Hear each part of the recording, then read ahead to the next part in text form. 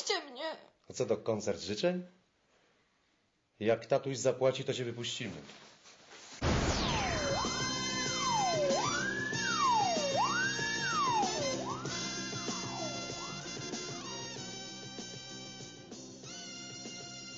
Dziś, podobnie jak tydzień temu, będziemy prosić Państwa o pomoc w zatrzymaniu Tomasza Rybaka, lat 31, pseudonimy Eddie i Morgan, Piotra Zakrzewskiego, lat 34, pseudonim Scotty, Piotra Mielcarka, lat 30, pseudonim Osama, Marcina Smolika, lat 25, pseudonim Mołek i Artura Należyty, lat 27.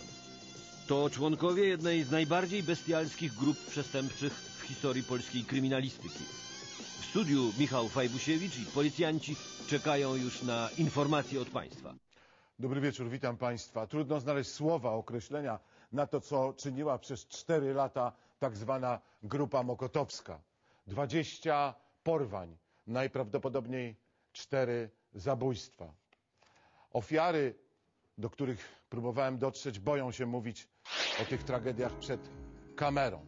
Boją się publicznych prezentacji. Jeden z porwanych e, zgodził się na anonimową rozmowę z nami. Rozmawialiśmy już tydzień e, temu o pańskich oprawcach. Niech pan przypomni telewidzom, jak można ich określić, e, tych ludzi. O, mówił pan o nich SS-mani. Nie widział ich pan właściwie na oczy. Ja byłem cały czas w kominiarce, miałem zakręconą mm, tą kominiarkę taśmą samoprzylepną, kajdanki, miałem skute ręce, nogi. Działali w tym momencie e, jak, e, mając mnie w takiej, w takiej sytuacji związanego, e, jak SS-mani, no, potrafili bić młotkiem po głowie. W swoim działaniu no, byli po prostu okrutni, no, nie, do, nie do opowiedzenia po prostu. To jak zwierzęta. W tej całej sytuacji właśnie, po tych wszystkich przejściach, po tych mm, przykrych przejściach dla mnie, dla rodziny, wydaje mi się, że urodziłem się na nowo. Podziwiam pańską odwagę, e, dzielność. Jeszcze raz serdecznie panu dziękuję za rozmowę.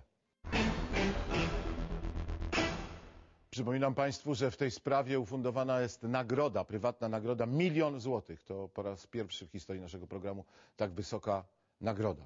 Tydzień temu przedstawiałem Państwu kilka bestialskich zdarzeń związanych z działalnością tak zwanej grupy mokotowskiej. Teraz chciałbym Państwu przedstawić skrót tych zdarzeń i nowe tragedie, które rozegramy. Grupa Mokotowska powstała pod koniec lat 90.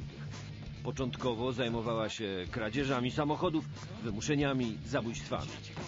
Od roku 2002 zajęła się też porwaniami. Grupą kierował Grzegorz K., pseudonim Ojciec. Swe ofiary typowali wśród ludzi bardzo bogatych, których rodziny mogły zgromadzić w krótkim okresie czasu dużą ilość gotówki. Sumy sięgały niekiedy miliona euro okupu. Tydzień temu przedstawiliśmy Państwu tragiczne zdarzenia związane z porwaniem biznesmena z Warszawy. Porwano też bogatą biznesmenkę z Warszawy, za którą rodzina zapłaciła milion złotych okupu. Ofiary przetrzymywano w dziuplach w okolicy Warszawy. Bywało, że po kilka osób naraz. Jest to jedno z kilku zidentyf- zidentyfikowanych miejsc, w których członkowie grupy przestępczej przetrzymywali osoby uprowadzone. Na pewno jest jeszcze wiele miejsc, y, gdzie również przetrzymywali osoby, które nie zostały te miejsca przez nas zidentyfikowane. W związku z tym, pokazując takie miejsce jak to, prosimy o osoby, które poznają to jako miejsce, gdzie były przetrzymywane, bądź znają to miejsce no, z relacji lub innych okoliczności, o kontakt z policją. Wśród porwanych znalazł się też członek tej grupy Bartek. Jakiś czas temu wyszedł z więzienia i nie rozliczył się z kompanami. Porwano go więc i katowano. Jeden z oprawców wdał się w romans z żoną porwanego. Kobieta nie była świadoma, że amant będzie niedługo mordercą jej męża. Wreszcie kolejny porwany, Mariusz, student, syn bogatych rodziców z Warszawy. Katowano go przez blisko miesiąc. Rodzinie dwukrotnie przesłano obcięte palce chłopaka. Naszą inscenizację tydzień temu zakończyliśmy znalezieniem ludzkich zwłok w lesie koło Żabiej Woli z ręką z obciętymi palcami. Nikt wtedy nie przypuszczał, że to ciało zamordowanego Mariusza. Co o nim wiemy? Na razie nic nie wiadomo, żadnych dokumentów. A jedyne co wiadomo to, że jak już go tu przywieźli, to był trup. Co sądzisz o tych palcach? To wygląda na jakąś mafijną robotę. Nie oddał kasy raz, obcięli jednego paluszka, potem drugi raz, obcięli drugiego. Nasi chłopcy teraz się bawią we włoską mafię. Jeżeli już, to nie we włoską, tylko w japońską jakuzę. No ale tam obcinali jeden paluszek, a nie dwa. To zabezpieczcie wszystko, co się da. Jutro sekcja. No i czekam jak najszybciej na wyniki. Jasne? Tak jest. Wujku, to na ile możemy liczyć? Na 30 tysięcy, tak? Tak. Serdeczne dzięki. Oczywiście. Jak tylko będę miał, to oddam. Oczywiście. Jak go już nie ma. Co nie ma? Kogo nie ma? Mariusza, jak już. Kobieto, uspokój się. Przecież widzisz, że robię co mogę. Robię co mogę. Staram się zdobyć jakieś pieniądze. Dzwonisz i dzwonisz! Się, zrobiłbyś coś! Nie wiem, pojechał! Szukajmy go! A co mam robić? Widzisz, że staram się zdobyć jakieś pieniądze. A ty co robisz, no? Dzwońmy na policję! Jaką policję? Na jaką policję? Może go znajdą! Tak? Wtedy to w ogóle go nie odzyskamy. Na jaką policję? Kobieto, zastanów się. O czym ty mówisz? O Jezu! Nie... Spokój się, bo zwariujemy Jak zaraz. go Zaraz zwariujemy! Sekcja wykazała, że chłopak znaleziony w lesie został nieźle pobity, miał duże obrażenia wewnętrzne i odcięto mu dwa palce. Porzucili go potem w lesie, ale on już od dawna nie żył. Wiesz co, młody, tak mi się wydaje, że to chyba rzeczywiście porachunki między bandziorami. Komisarzu, mamy kolejne zwłoki, jedziemy.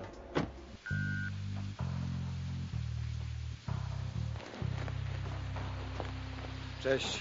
Co mamy? Zwłoki wypłynęły z Wisły, owinięte siatką były. Oględziny mamy zakończone, zabieramy teraz je na sekcję. Ustalono, kto to jest? Nie poznaje szef? Stary znajomy, Bartuś. Niedawno z puchy wyskoczył. Jakaś rodzina? Żona.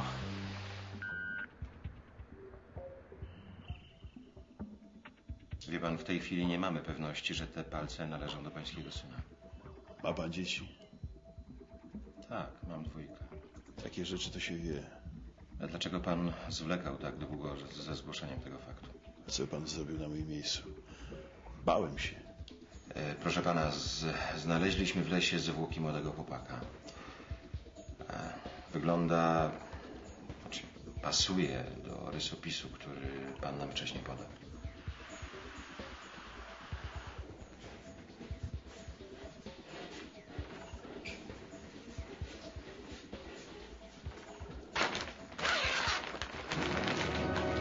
Mariusz, synku! Nie można, proszę pana. Jak... Przecież to moje dziecko! Mariusz! Mariusz! Dobra panowie, już po żniwach, trzeba się zabrać do jakiejś roboty, coś sobie nagrać. Y, Baron, co masz? No co, no mój prezesik jest płynny finansowo, robimy mu obcinkę, firma dobrze prosperuje. Myślę, że na trzy stówki go skubniemy. Bardzo dobrze. Y, sama? Babka jeździ dobrą furą, ale cały czas jest w kredytach. Nic z tego nie będzie, ojciec. Kozioł, y, miał się rozejrzeć. W tym facecie od paliw i co? Robi się, tylko potrzebuje paru dni. Robi się, robi. Nie, nie lubię takie słowa. Robi się. A- A ty z, od tego gościa z tym mięsem to co? No robię, no ale pieniędzy jeszcze nie widziałem. Kurde, buja się kiełba, widziałem, nie widziałem, no kurde, zetnij dupę, Czekam, czekam, no zobaczę pieniądze, to ci powiem. A propos pieniądze. Teraz będziemy robić w nowych technologiach. Wiecie co to jest? Telewizor. Jak telewizor. To jest GPS! GP co? Jajco i tak nie zrozumiem. Słuchajcie, jest nowa technologia. To jest taka rzecz. Weź telefonik, podkładasz gościowi, a potem tylko wprowadzamy tutaj nasz kod i sobie facetka ładnie monitorujemy. Jasne? Jak słoneczko. No fajnie. Dobra.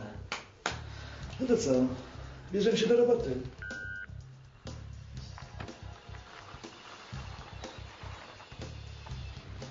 Przepraszam pana bardzo, ale mąż pomylił drogę.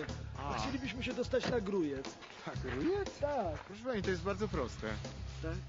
Widzi pani, jesteśmy tutaj, tak? Tak. W związku z tym jedziemy tutaj w lewo. A w lewo, ale przy w lewo to na Piaseczno, a na Nie, ale później trzeba skręcić w prawo, jak pani widzi. To ja pójdę po długopisik. W lewo, ale w lewo to chyba na Piaseczno, nie? Nie, nie, ale trzeba tu zaraz skręcić w prawo. Aha. W lewo i to i później w prawo i... O, jakie to proste. Dobrze, dobrze, już No. wiemy jak, tak? Dobrze. Dobrze. Dziękuję bardzo panu. Do widzenia.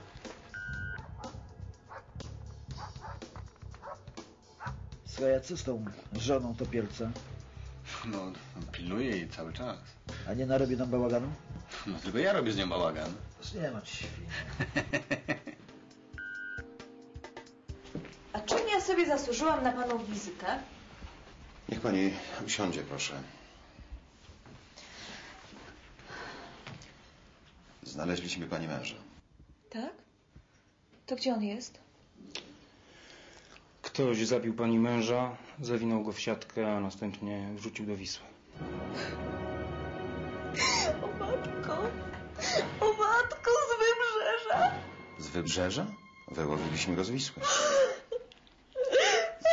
Nie spotykał się z kimś, może miał zamiar spotkać się z dawnymi kolegami. Nie wiem!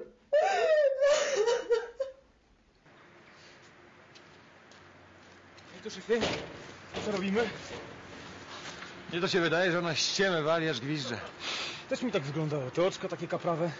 Słuchaj, musimy ją poobserwować.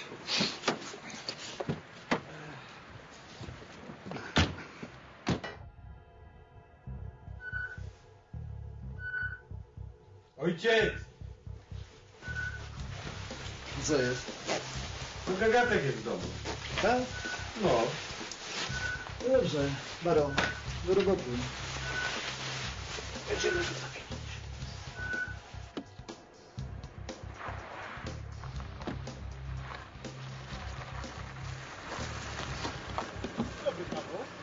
Policja, dokumenty proszę. Dzień dobry, ale o co chodzi? Jak pan da dokumenty, to się pan dowie o co chodzi. Oczywiście, oczywiście, proszę bardzo. Jest pan zatrzymany. Jak to zatrzymany? Jak to? Ale Panowie, ja mogę, ja mogę udowodnić coś. coś. Tu są jego dokumenty, panie komisarzu. Ale pojedzie pan z nami. Gdzie z wami? Proszę znowu. Ale jak to? Ale przecież tak nie wolno. To robi się Proszę pan proszę proszę z nami. z pan. Ja mam swoje prawa. Musimy pan tylko dowieść.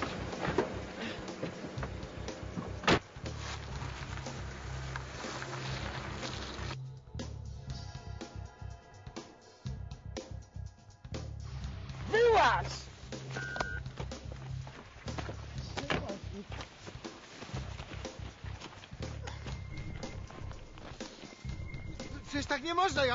O, przecież... Tak się nie robi, pa, panowie, no!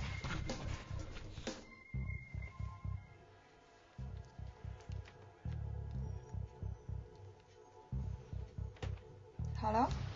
Policja? E, Dzień dobry. Proszę pana, chciałam zgłosić, że tutaj u sąsiada na podwórku od jakiegoś czasu kręcą się dziwne typy.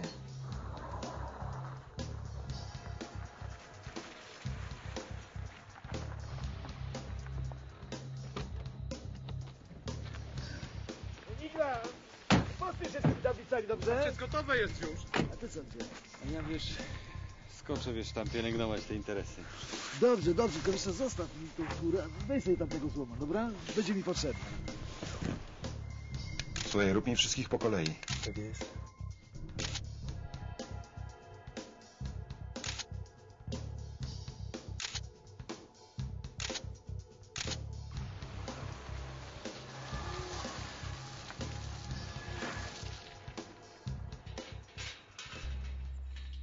Znajdujemy się w miejscowości Jasienica koło Tłuszcza na terenie posesji, kolejnej posesji wynajmowanej przez sprawców uprowadzeń osób.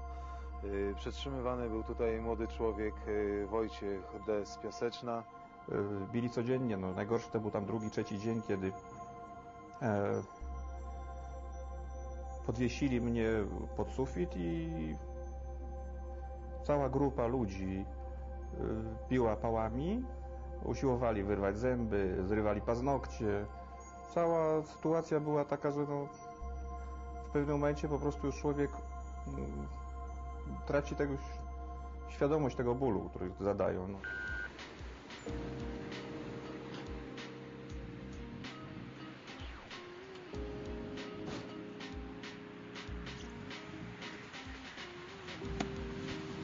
Do środka. Widziałam cię.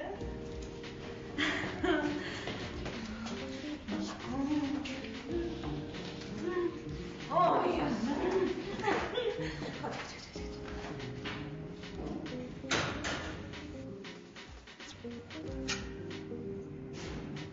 Słuchajcie, wygląda na to, że wdowa ma nowego doganiacza. Jeden z nich, konkretnie ten gość, ma pseudonim Osama i, i właśnie on y, znał się i pracował razem w grupie z Bartkiem, którego wyłowiliśmy w Wiśle. I co oprócz tego? Jakieś dziwki, samochody, dziupla, coś? Nie, nic takiego nie ma, szefie, ale mam nosa, no mam przeczucie, że, że chłopaki coś kroją. No to co proponujesz? No myślę, że powinniśmy ich jeszcze dalej obserwować. Tak mówisz? No tak myślę. No dobra, to wobec tego ustal, y, co to za ludzie, czym się zajmują. I w razie czego, jakbyś miał coś ciekawego, daj, mi- daj mi znać, dobrze? To jest. No to na razie.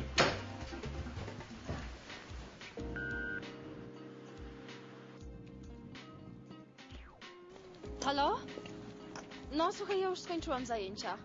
Ojej, wiesz co, zasiedziałem się u fryzjera. To ja już cię nie odbiorę teraz, wiesz? Aha, dobra, dobra, to widzimy się w domu. No dobrze, słońce, to spotkamy się w domu, tak? No, całuję, papa. To przepraszam cię.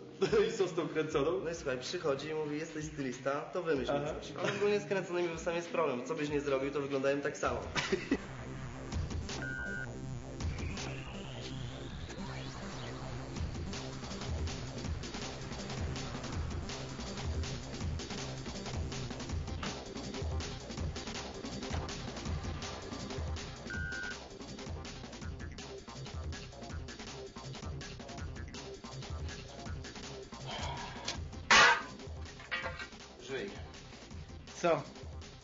Łapki by się jeszcze przydały.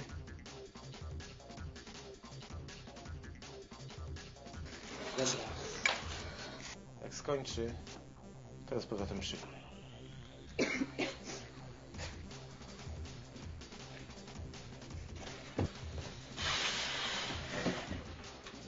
Pieski nakarmione. Bardzo dobrze. Ile szarpniemy za tą sukę? Wiesz, rodzina jest bardzo dziana, więc ja myślę, że może jakiś milion, co? Milion złotych? E, no to będzie się czym podzielić. A sama błagam cię. Ty przestań myśleć. Nie milion złotych, a milion euro. Jasne?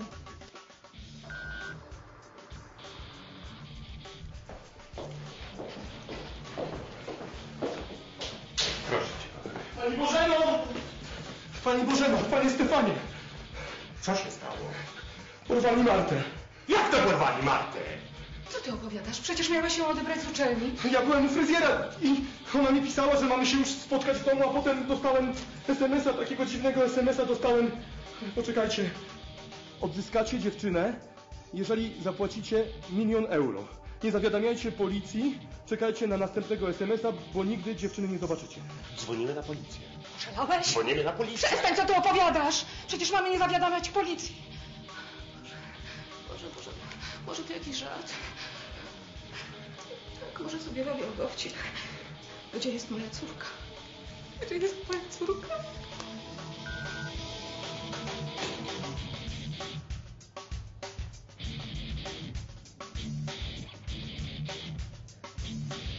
Panowie, ja błagam! Cicho! Kurde, cicho! Błagam! Do kufra, do kufra, kufra! Byłeś do kufra. Ale tak, zamknij się, kurwa, bo dostałeś, No! kurwa, los od życia.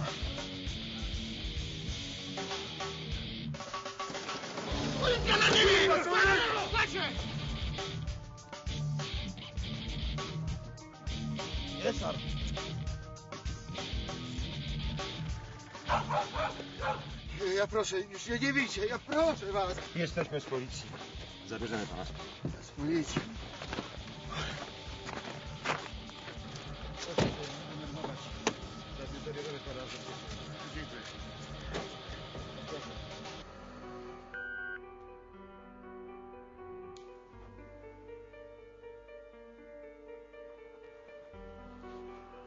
No, przykro mi bardzo, że przeżył pan coś takiego, ale bardzo chciałbym wiedzieć, co właściwie się zdarzyło.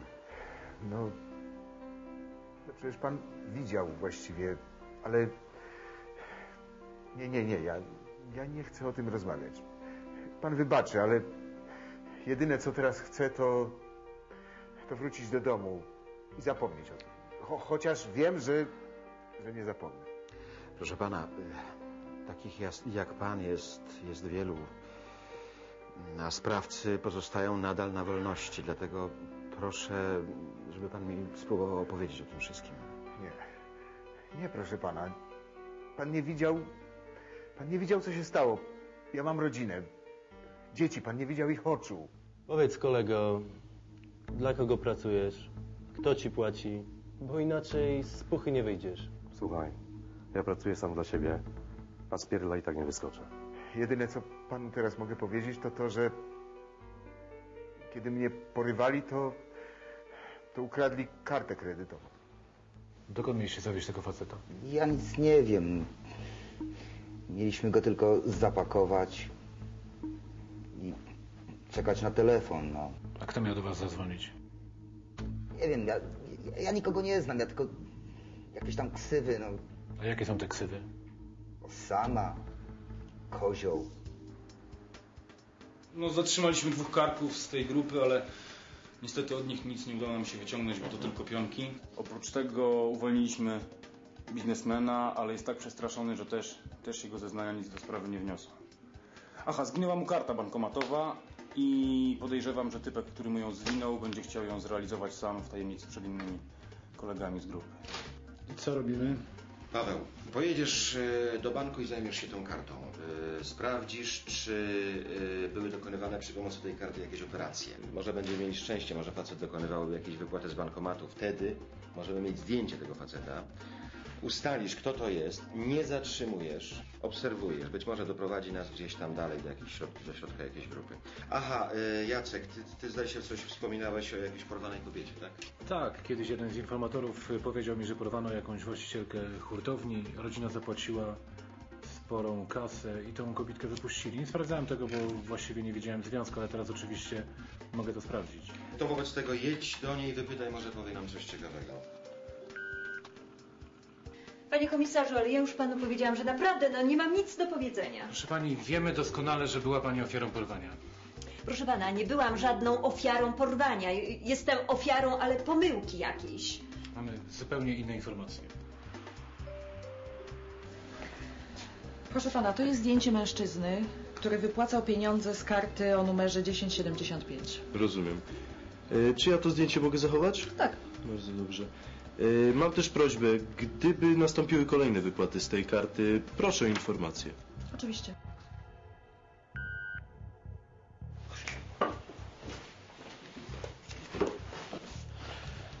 Słuchajcie, chłopy, mam na oku Hindusa, a jak na mój nos, to jest nieźle nadziany. No, to wiecie, co macie robić, nie? Cześć, Baron. Masz kapuchę? 14 700, 14 800, 14 900, 15. 15 tysięcy. Spisałeś się. Masz tu swoją działkę. Weź jeszcze tą kartę. No. Może uda się z tym jeszcze coś zrobić. Aha. W każdym razie próbuj.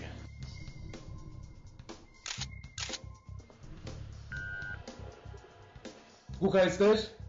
Podoba ci się? Nie słyszę? Wypuśćcie mnie. Co to koncert życzeń? Jak tatuś zapłaci, to cię wypuścimy.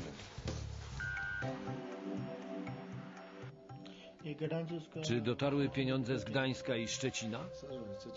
Pieniądze ze Szczecina już są, a z Gdańska będą jutro.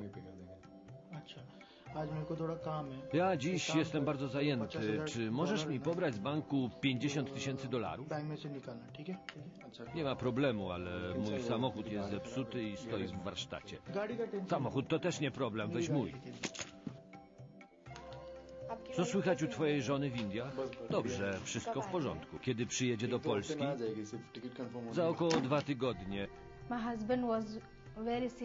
Mój mąż jest człowiekiem pełnym radości, pełnym życia, bardzo serdecznie nastawionym do ludzi. Ma wielu przyjaciół, łatwo też nawiązuje kontakty. Jest przyjazny w stosunku do wszystkich. Dlatego między innymi przyjechał tutaj do Warszawy i w krótkim czasie spotkał również tu wielu przyjaciół.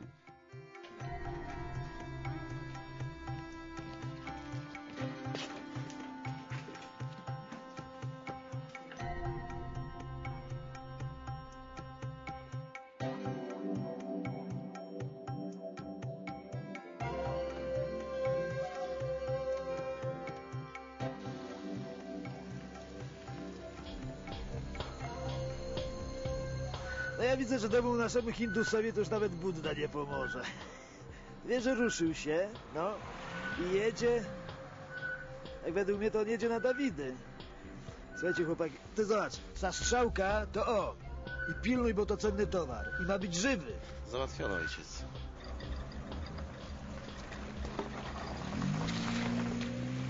Zobacz, no jakieś Magda mi pismo jakieś jeszcze tu. Nie wiem co to jest. Możesz mi tłumaczyć co to jest? Mm, W tej chwili już od razu? Ale mniej więcej mi powiedz o co chodzi tym.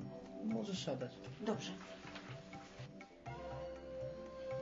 Z pisma wynika, że y, oni proszą o przesunięcie terminów wpłaty y, pieniędzy za towar. Aha.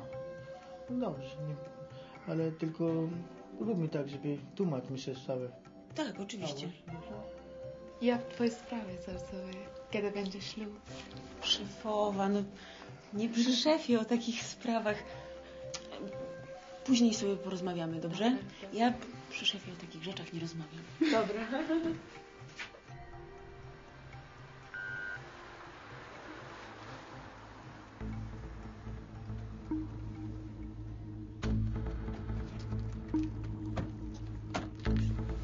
Dzień dobry. Ale o co, o co Proszę bardzo, proszę samochodu. Proszę, proszę, prosimy, prosimy, prosimy. Wszystko wyjaśnimy, prosimy, prosimy. Rączki. Ale dla, dla, dla, dlaczego? Wszystko pan się dowie na komendzie. Proszę się nie martwić. Ale mój samochód proszę. Nic się nie stanie. Prosimy.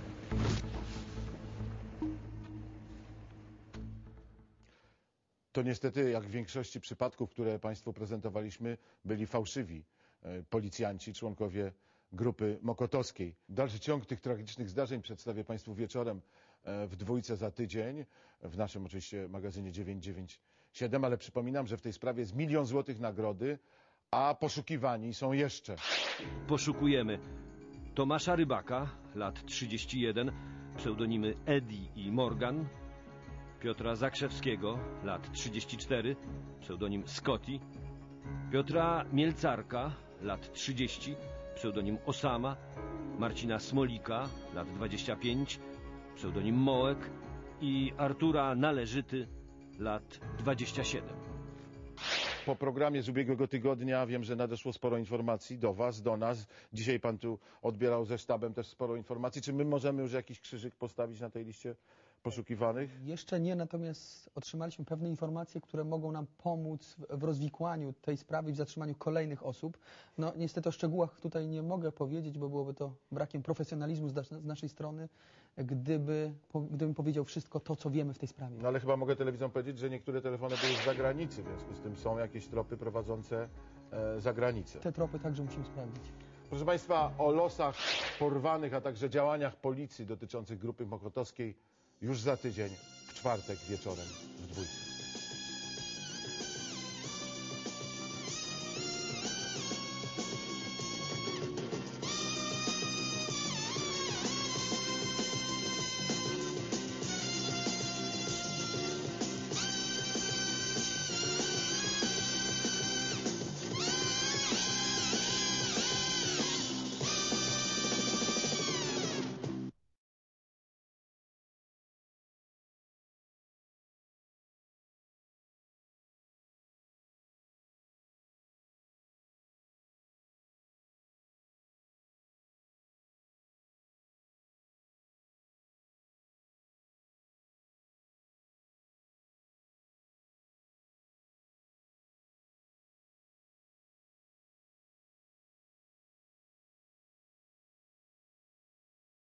Być jakieś pieniądze. A ty co robisz, no? Dzwońmy na policję! Jaką policję? Na jaką policję? Może go znajdą? Tak? Wtedy to w ogóle go nie odzyskamy. Na jaką policję? Kobieto, zastanów się. O czym ty mówisz?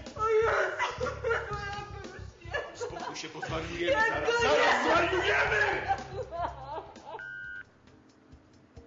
Inspekcja wykazała, że chłopak znaleziony w lesie został nieźle pobity, miał duże obrażenia wewnętrzne i odcięto mu dwa palce.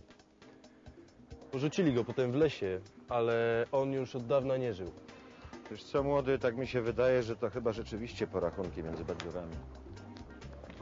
Komisarzu, mamy kolejne zwłoki, jedziemy.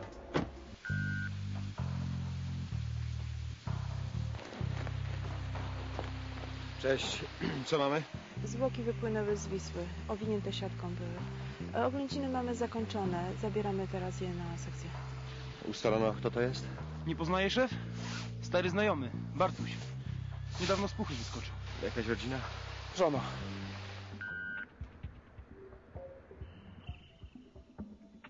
Wie pan, w tej chwili nie mamy pewności, że te palce należą do pańskiego syna. Ma pan dzieci? Tak, mam dwójkę. Takie rzeczy to się wie. A dlaczego pan zwlekał tak długo ze zgłoszeniem tego faktu? A co pan zrobił na moim miejscu? Bałem się. E, proszę pana, z, znaleźliśmy w lesie zwłoki młodego chłopaka. E, wygląda... Znaczy, pasuje do rysopisu.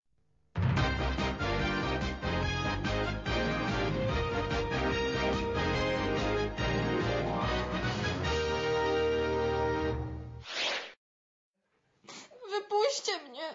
A co to koncert życzeń? Jak tatuś zapłaci, to cię wypuścimy.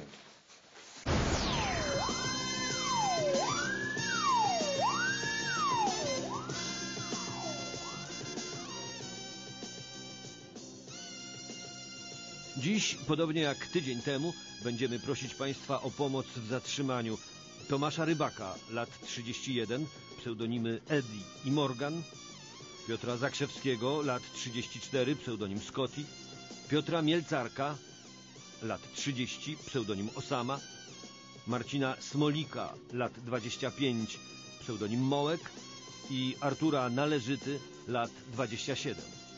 To członkowie jednej z najbardziej bestialskich grup przestępczych w historii polskiej kryminalistyki. W studiu Michał Fajbusiewicz i policjanci czekają już na informacje od państwa. Dobry wieczór, witam Państwa. Trudno znaleźć słowa określenia na to, co czyniła przez cztery lata tak zwana grupa mokotowska. 20 porwań, najprawdopodobniej cztery zabójstwa. Ofiary, do których próbowałem dotrzeć, boją się mówić o tych tragediach przed kamerą. Boją się publicznych prezentacji. Jeden z porwanych e, zgodził się na anonimową rozmowę z nami. Rozmawialiśmy już tydzień Dwukrotnie przesłano obcięte palce chłopaka. Naszą inscenizację tydzień temu zakończyliśmy znalezieniem ludzkich zwłok w lesie koło Żabiej Woli z ręką z obciętymi palcami. Nikt wtedy nie przypuszczał, że to ciało zamordowanego Mariusza. Co o nim wiemy? Na razie nic nie wiadomo, żadnych dokumentów. A jedyne co wiadomo to, że jak już go tu przywieźli, to był trup. Co sądzisz o tych palcach? To wygląda na jakąś mafijną robotę. Nie oddał kasy raz, obcięli jednego paluszka, potem drugi raz, obcięli drugiego. Nasi chłopcy teraz się bawią we włoską mafię. Jeżeli już, to nie we włoską, tylko w japońską jakuzę. No ale tam obcinali jeden paluszek, a nie dwa. To zabezpieczcie wszystko, co się da. Jutro sekcja. No i czekam jak najszybciej na wyniki. Jasne? Tak jest. Wujku, to na ile możemy liczyć? Na 30 tysięcy, tak? Tak. Serdeczne dzięki. Oczywiście. Jak tylko będę miał, to oddam. Oczywiście. Jak go już nie ma. Co nie ma? Kogo nie ma? Mariusza, jak już Kobieto, uspokój się. Przecież widzisz, że robię co mogę. Robię co mogę. Staram się zdobyć jakieś pieniądze. Dzwonisz i dzwonisz! Ruszyłbyś się, zrobiłbyś coś! Nie wiem, pojechał! Szukajmy go! A co mam robić? Widzisz, że staram się... e, temu o pańskich oprawcach. Niech pan przypomni telewidzom, jak można ich określić y, tych ludzi. E, o, mówił pan o nich y, SS-mani, nie widział ich pan właściwie e, na oczy. Ja byłem cały czas w kominiarce, miałem zakręconą mm, tą kominiarkę taśmą samoprzelepną, kajdanki, miałem skute ręce, nogi. Działali w tym momencie e, jak mając mnie w takiej, w takiej sytuacji związanego jak SS-mani, no, potrafili bić młotkiem po głowie. W swoim działaniu no, byli po prostu okrutni, no, nie, do, nie do opowiedzenia po prostu.